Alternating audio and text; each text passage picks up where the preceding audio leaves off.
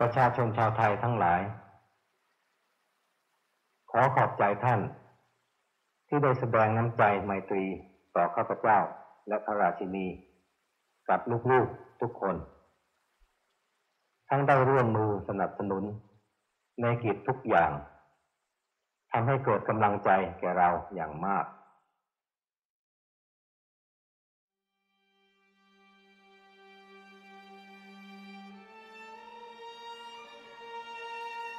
ประชาชนคนไทย มีการแสดงออกชัดเจนขึ้น ว่าต้องการอะไร เมื่อแสดงออกมาเช่นนี้ ก็ทำให้รู้ใจกัน และสามารถช่วยกันท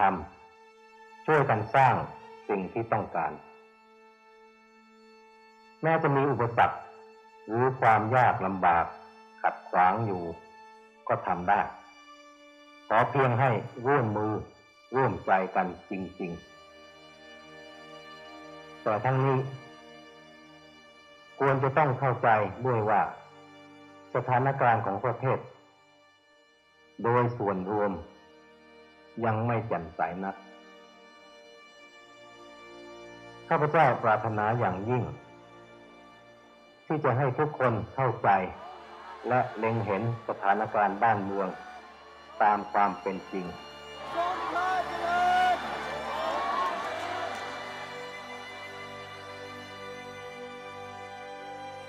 เวลานี้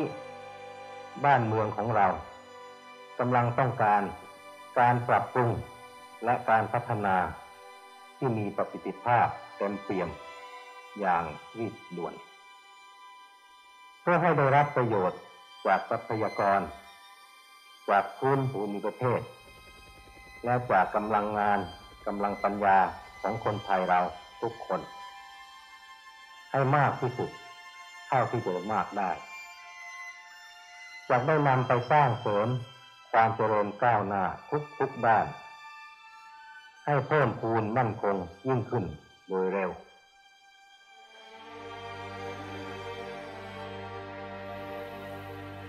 เพื่อการนี้ เราจะต้องวางโครงการพัฒนาอีกหลายอย่างโดยรีบด่วน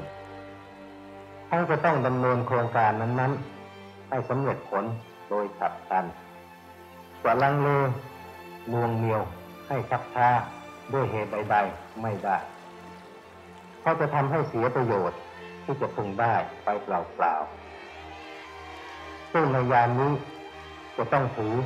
เป็นความเสียหาย ทางที่เราจะช่วยกันได้ ก็คือ การทำความคิดให้ถูก และแน่วแน่ ในอันที่จะยึดถือชาติบ้านเมืองเป็นที่หมาย ต้องเพาการคิดถึงประโยชน์เฉพาะตัว และความขัดแย้งกันในสิ่งที่ไม่ใช่สาระลงผู้ใดมีภาระหน้าที่อันใดอยู่ ก็เร่งจะทำให้สำเร็จรุ่ล่วงไป โดยเป็นกำลังความสามารถ ด้วยความบริสุทธิ์ใจ ด้วยความเมตตา ด้วยความปรองดองกัน และด้วยความปรารถนาดีต่อกัน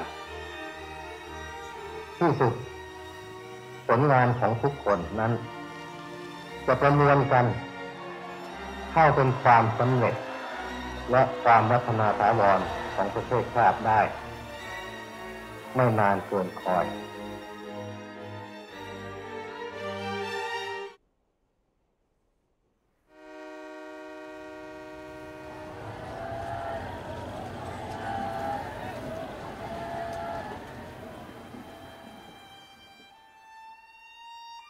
ขออนุภาพแห่งคุณพระศรีรัตนตรัยและ สิ่งศักดิ์สิทธิ์อันเป็นที่เคารพเลื่อมใสของชาวไทยจงปกปักรักษาท่านทั้งหลาย ให้ปราศจากภัยอันตราย และเหตุชั่วร้ายทุกสิ่ง บันดาลให้แต่ละคน มีกำลังกายกำลังใจกำลังปัญญา และกำลังสามัคคี อันแข็งแกร่งพร้อมเพรียง สามารถที่จะประกอบกรณียกิจนำพาประเทศชาติให้ดำเนินต่อไปโดยสวัสดี และสามารถที่จะทำรงอิสรภาพอธิปไตย พร้อมทั้งความเจริญร่มเย็นเป็นผาสุขของบ้านเมือง ให้สถาวรอยู่ตลอดไป ขอทุกท่านจงประสบแต่ความสุขสิริสวัสดิ์ ที่พัฒนามงคล และสิ่งที่พึงปรารถนา ตลอดปีใหม่นี้ทั่วหน้ากัน